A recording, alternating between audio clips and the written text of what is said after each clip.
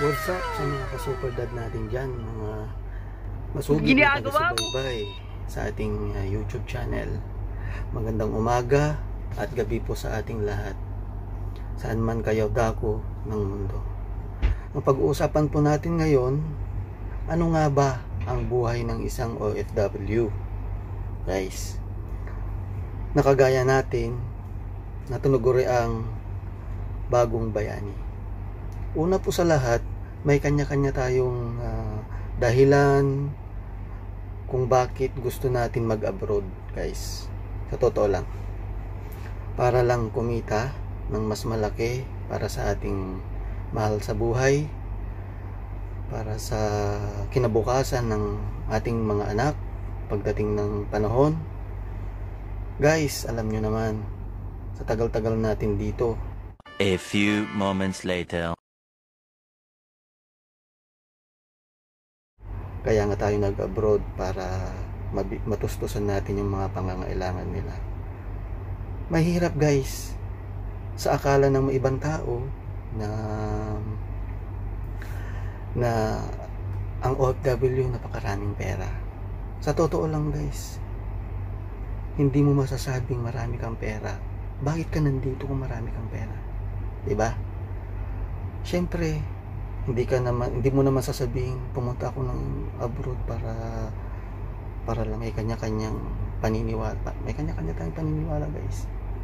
Ikaw tatanungin kita sa tingin mo sa panahon ngayon kakailanganin mo pa bang mag-abroad sa narinig mo sa akin ngayon? Alam mo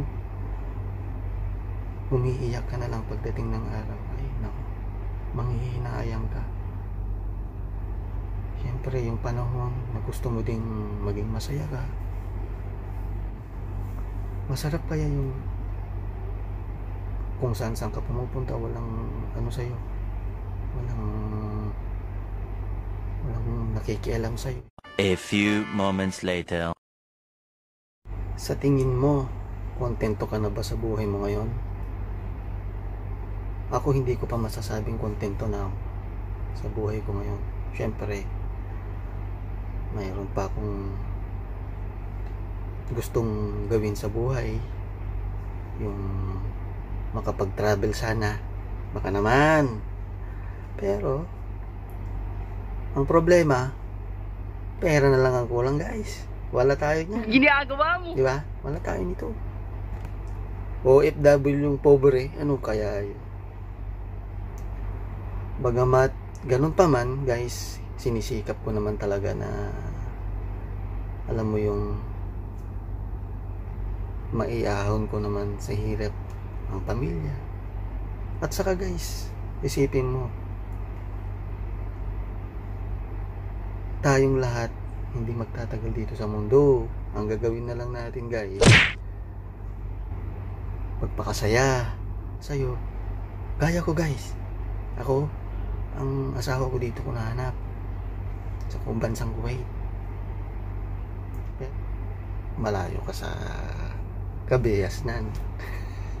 Hanapin mo. Tunay. Yeah. Marami man tayong naging struggle, guys. Sa walong taon. Walong taon na. Hanggang ngayon, kahit papaano naman, ito na lang sasabihin ko sa inyo. Kahit papaano, masasabi ko na may napangdar din ako sa walong taon na yun. Kunti lang, hindi ko sasabihin madami guys. Siyempre, doon lang tayo sa may bababa lang yung sahod natin eh. Ikaw, ano pang ginagawa mo? Iniisip mo ba kung paano at ano ang gagawin mo ngayon? Ikaw bahala pagdating ng panahon. Nganga ka. Wala na machibog. Wala na. Kasi, puro lagi padala. Ito ang sakit nating mga Pilipino. Hindi na tayo nagtitira para sa atin. Basta lang masaya yung pamilya natin. Sige lang ng sige. Bigay dito, bigay dyan. Sige. Ang pamilya naman natin sa Pilipinas, akala nila napakalaki yung kinikita natin. Ako, Baka naman, ano kaya yun? Pero, ako, masaya. Kasi, sy- syempre, kung masaya sila, masaya na rin ako. Ganyan, ganun talaga eh. Yun na lang yung kasayahan ko, guys. Kung kasiyahan ang hinahanap mo,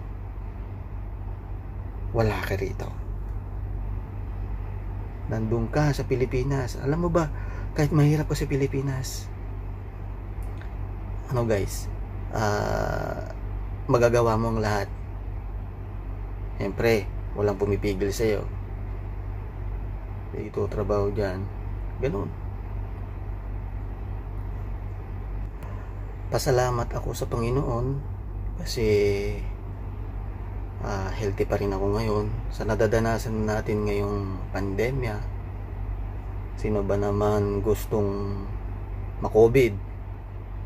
Siyempre, wala, di ba? Mahirap, guys. Talagang mahirap ang kalagayan. Siyempre, kahit saan man tayo, trabaho. Kasi nga, yun nga yung pinunta natin lahat dito eh.